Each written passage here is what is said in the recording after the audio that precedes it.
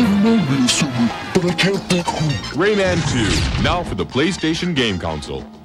Rated E for everyone.